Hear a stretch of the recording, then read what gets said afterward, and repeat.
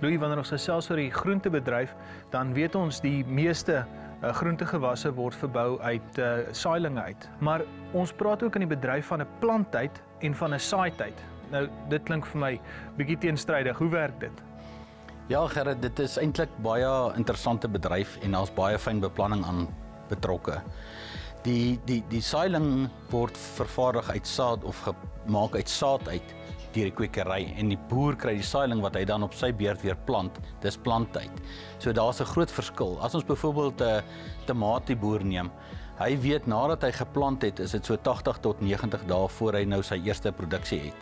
En die dit bepaal eintlik hoe hy dit terugwerk dan nou. Nou wanneer hy sy saailing moet kry op die plaas en dit bepaal ook deur die word ook dan bepaal deur die kwekery wanneer die saad gesaai moet word sodat die saailing gereed is in tyd. Ja, dit klink vir my soos 'n beplanningsproses soos min. Hoe werk hierdie proses om seker te maak dat jy betyds en op die regte tyd jou produkte aan jou eh, kontrakteur lewer? Ja, soos ek gesê het, baie boere of meeste van die groenteboere is kontraktueel verbind.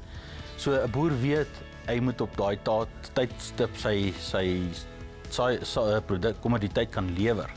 Met die gevolg is wat dan gebeur is, hy gaan en hy gee sy program deur aan sy kwekery en sê op hierdie tydperk moet ek hierdie volgende saailinge kry.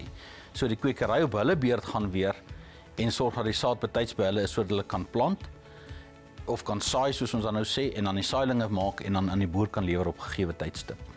Hoe word hierdie hierdie saailing proses deur die kwekerye hanteer? Hoe lank tyd het hulle en uh, het hulle ook 'n kontrak met boere? Hoe werk daai verhouding? Hulle het nie regtig 'n kontrak, maar hulle het 'n baie nou verhouding met die boer.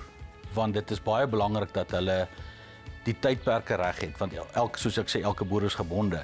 Met die gevolg is die boer sê ek soek op datum X my saailinge op die plaas, dan weet hulle 4 tot 6 weke voor die tyd met hulle saad in die kwekery hê waarop hulle dan die saad saai en saailaaie of saailing laaie soos ons sê en dan die saad ontkiem en die saailing groei tot op die gegeewe ouderdom. Wie is daar boere wat hulle eie kwekery ook op die plaas het?